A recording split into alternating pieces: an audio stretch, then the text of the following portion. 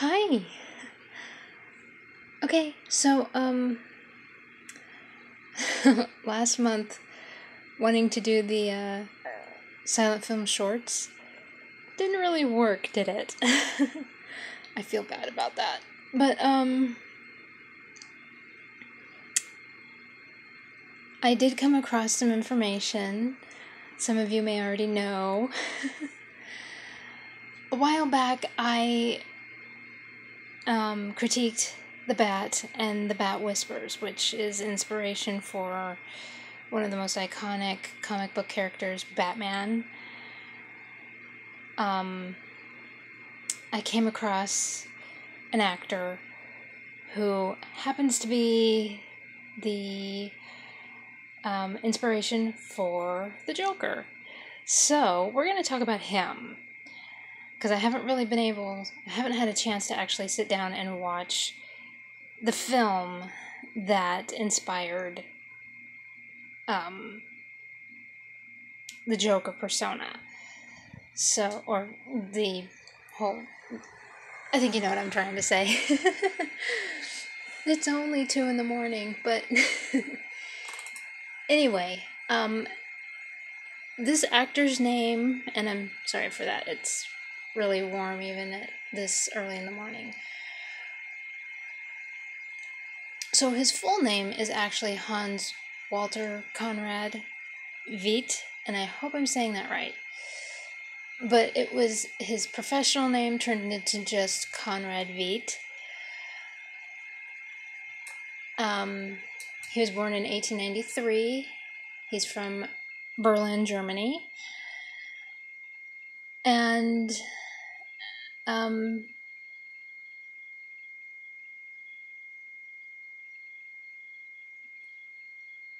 he was he was part of the German army in World War One.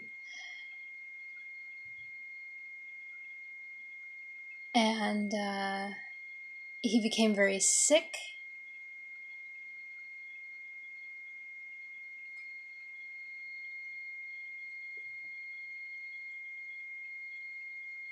And while he was recuperating, that's when he,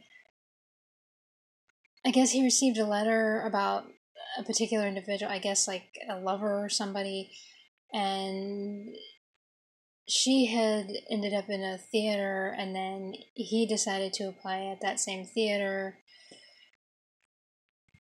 Although he had not fully recovered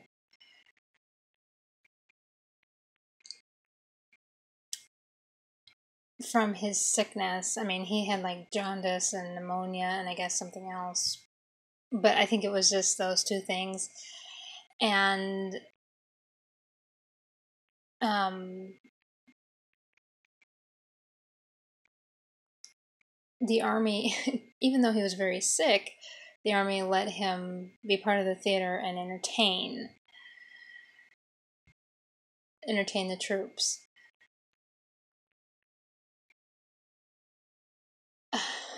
Apparently he liked performing more than this girl. So he ended his relationship, and then in 1916, he was re examined and he could no longer fight in the army. He was given a discharge in 1917 and he returned to Berlin to pursue an acting career.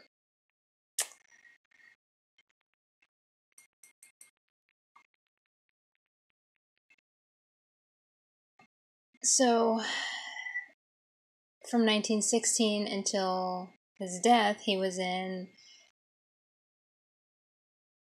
more than a hundred films, and that's like an understatement because I looked at his filmography. There's tons of films.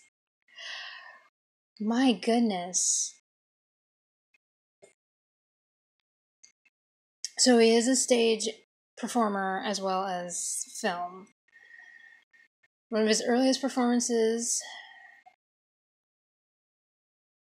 was the murderous Cesar in, and I think I say that right, in the cabinet of Dr. Caligari, which was in 1920. So he did quite a few films in Germany. Um, when you look that up. And then his starring role, the, the iconic role that he did is The Man Who Laughs, which is in 1928, and that's the film that was the inspiration. I mean, his look and everything was the inspiration for the Joker. So, um, he in that film he is a disfigured circus performer and his face is cut up into a permanent grin a permanent smile. I did look up what it's about. And basically that's what it is. So it it makes sense. I mean you know the idea of the joker has changed over the years. It's kind of like the when uh, we were talking about Robin Hood and how the original Douglas Fairbanks idea has changed over the years, but the nugget of, you know, it, it's still inspired by the Douglas Fairbanks original inspiration. So the nugget is there. Much like um Conrad's Man Who Laughs. However, uh, we don't really see him as a circus performer anymore. not really, not much. But anyway, so 20 years later, the Joker comes up.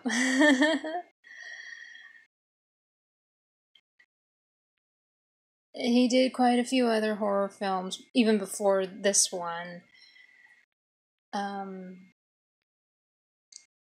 films like uh, The Hands of Orlac, Student of Prague, Waxworks, I and and in Waxworks he played Ivan the Terrible.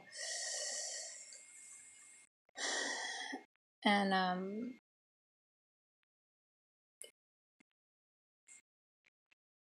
and then in the late 1920s this this particular thing that i'm reading kind of jumps back and forth so.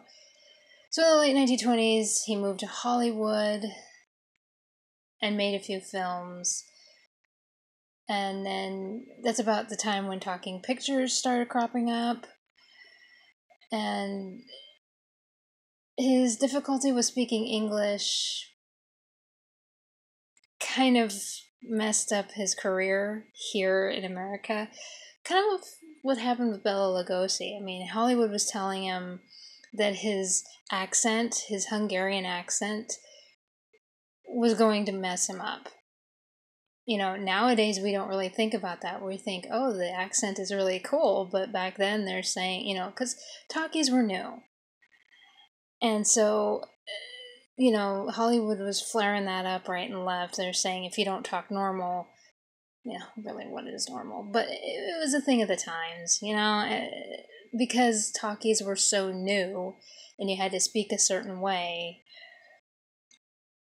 And that and that was one of the things that you see in Singing in the Rain when they're having actual speech professors and everything. And when they say when you're translating into you know when you're transferring over from silent to talkies a lot of people did not transfer over because if you had that nasally weird voice fran drescher wouldn't have made it. Just gonna say. So he didn't really do very well because he didn't speak english very well. So he ended up returning to germany to make more films. Um, he started tutoring to other performers.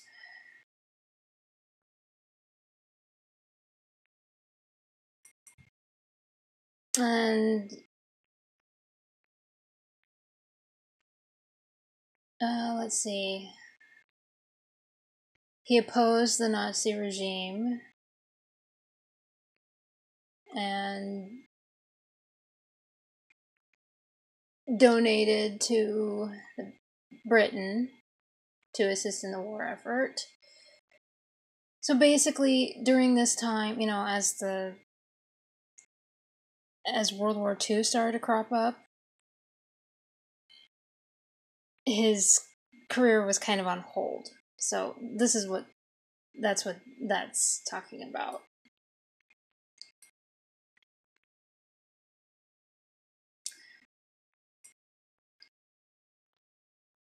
And he did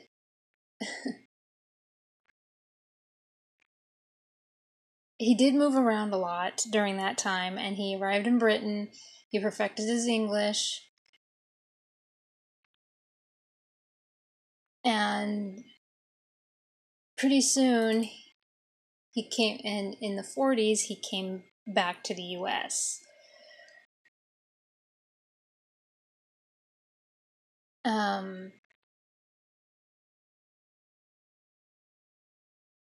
he was still helping in the British effort with the war and everything. And um cuz remember the US didn't join the war right away. but anyway, he was still helping with the British effort and at the same time trying to make films.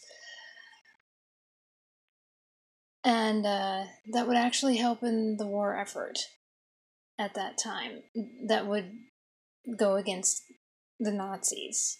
So he was trying to push the idea of fight against Nazis and everything. And everything like that. And um, so it says here Conrad gave his life savings to the British government to help finance the war effort. Realizing that Hollywood would most likely typecast him in Nazi roles, he had his contract mandate that they must always be villains. So he was trying to make a point. Um,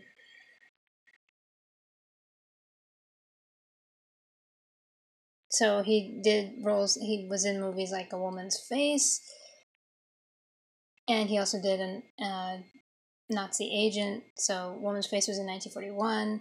He was also in Nazi Agent. Um, one of his best known roles was where he's Major Heinrich Strasser in Casablanca in 1942. He did one more film after that. And then he passed away. Um, that film was basically right before the US entered the war. um,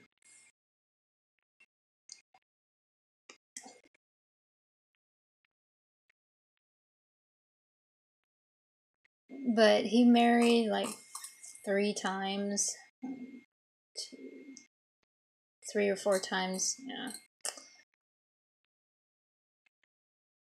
And it looks like to all German ladies. No, his last marriage was to a Jewish, a Hungarian Jewish lady.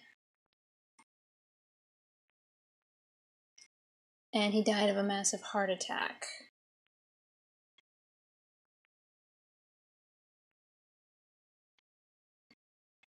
He was 50 years old. So anyway, um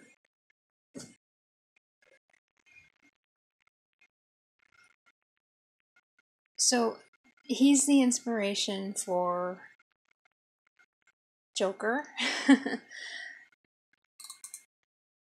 when you look up his filmography, yeah, he was in a lot. Most of them are from Germany. Um, and then once World War II started to break out, and he saw everything that was going on with um, Nazism and everything, he pretty much fled. He was like, "I'm not going to be a part of this." But he put every all his effort into helping Britain. So, um, and then when he came into America, like it said, basically, he said, if I'm going to be cast make it be a villain. You know, I'm gonna make a point. um,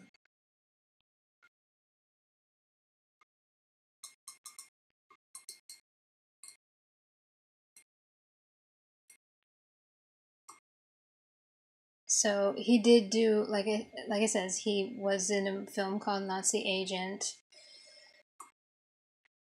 If you've ever heard of that one, but yeah, and he he was a World War One veteran. That's basically how he got started acting. He got sick. He never fully recovered though, so. But anyway, yeah, so I will definitely be watching the film, um, The Man Who Laughs. It's a, a 1928 film, and it's basically about a disfigured circus performer, and his fate is, is cut up. It, it's funny how we kind of go off track with that. but like I said, you know, Robin Hood um, Douglas Fairbanks Sr., when he did his silent film, he was going directly on the legend and the book by, I think his name is Howard Pyle. I read the story. And um, it's funny how we kind of fall away from that. And now we have all these different other, you know, like uh, Russell Crowe and, and, um, oh, that one from 1991 that we kind of poke fun at. I remember when that one came out. But there's like so many different TV movies and films and of Robin Hood. It's kind of like and King Arthur is another one that you know uh, people have so many different ideas and concepts now. Joker's another one. But anyway, I wanted to talk about Conrad Veidt, and I'll put his name because I'm not sure if I'm saying it right, and I do apologize if I'm not. But I wanted to talk about him because you know I ta- I critiqued the Bat and the Bat Whispers, um, which were inspiration for Batman. So I thought, why not talk about the gentleman who inspired Joker? So and I will, of course, when I have time, whenever that is, um, I will watch The Man Who Laughs and critique it. And again, if there's anything that I say wrong or you want to add to it, anything that I've said, don't hesitate. I I'm I love when you guys add on to stuff and put your own knowledge into stuff that I post.